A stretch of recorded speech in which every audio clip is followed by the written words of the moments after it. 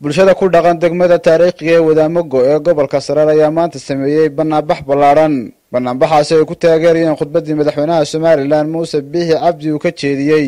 Wadahadallada somalilan iyo soomaaliya uga furmay dalka jamhuuriyadda jabuuti waxaana dadweynaha ku dhaqan degmada taariikhiga ee wadaamago ay socodluga ku soo mareen jidadka waaweyn ee degmadaasi iyagoo ku labisnaa calanka jamhuuriyadda somalilan banaanbaxa kadib ayaa waxay dadweynuhu isugu soo biyashubteen fagaaraha khayriyada ee degmada taariikhiga ee wadaamago gaar ahaana bardaha ay caanka ku tahay degmadaasi. Waxaana halkaasi ka hadlay maamulka degmada wadaamago xildhibaano odayaal waxgarad haween. Waxayna dhammaantoodba taageero u muujiyeen khudbadda madaxweyne biixi iyo wafdigiisa tegay dalka jabuuti annagoo ah bulshaweyntii iyo maamulkeedii ku dhaqnaa degmada wadaamago waxaanu saaka halkan taageero buuxdo uga muujinaynaa banaanbaxan madaxweynaha jamhuuriyadda somalilan iyo wafdidii uu hogaaminayey waxaanu ku taageeraynaa guushii ay ka soo hooyeen jabuuti khudbaddii uu ka jeediyey madaxweynuhu. Allaahu akbar! Allaahu akbar! Somalilan ha noolaato. Waxaan tahniyad ama shirkeennan ama munaasibaddeenanu daaran tahay inaynu taageerno shuruucdeenna ama qalbigeenna tuusno adduweynaha iyo beesha caalamka iyo waddamada aynu jaarka nahay.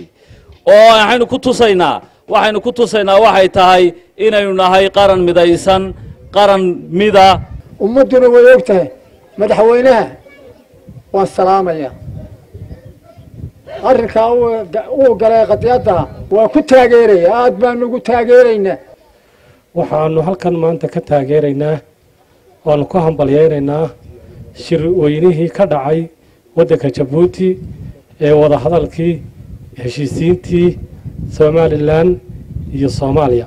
Arrintaa wadahadalkaa waanu soo dhowaynaynaa waxaanu taageeraynaa hadalladii ka soo baxay ee ka mid ahaa hadalkii guddoomiyaha golaha goortida ee ahaa waxay hore marka la dhammaystiro ayaa waxa dambena la wadaya. Allahu akbar!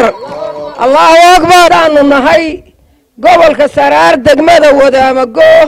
Halka kan waxaanu ka taageeraynaa khudbaddii wafdidayada ballaadhan ee nooga qayb gashay shirka jabuuti ee uu hoggaaminayey madaxweynaha iyaga muuse biixi cabdi xildiid waxaanu ku taageeraynaa madaxweyne waad gudatay xilkaagii hana xadgudbin xilkaagana gudo somalilan waa muqadis aad baan u salaamayaa.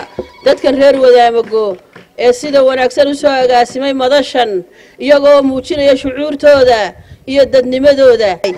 Haddaanu nahay somalilan waxaanu nahay dad gooni isutaagah oo gooni isutaaggoodu muuqday oo ay waxtarkoodu muuqatay oo ay iskulifilaashahoodu muuqday ayaanu nahay.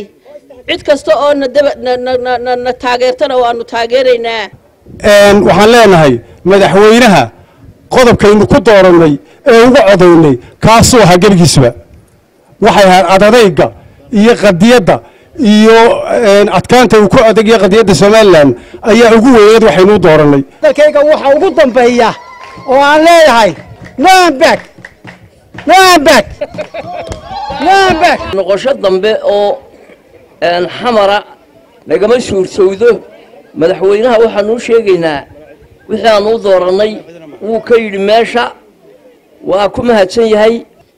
Mid waxaan leeyahay somalilan oo somalilan waxaa leeyahay waa muqadis waxaa weeye jiritaanka somalilan iyo gooniisitaanka somalilan waxaa weeye waa muqadis ka noqoshana ma jirto. Salabaan cilmi siciid wararka telefishinka caalamiga ee eryal degmada taariikhiga ee wadaamago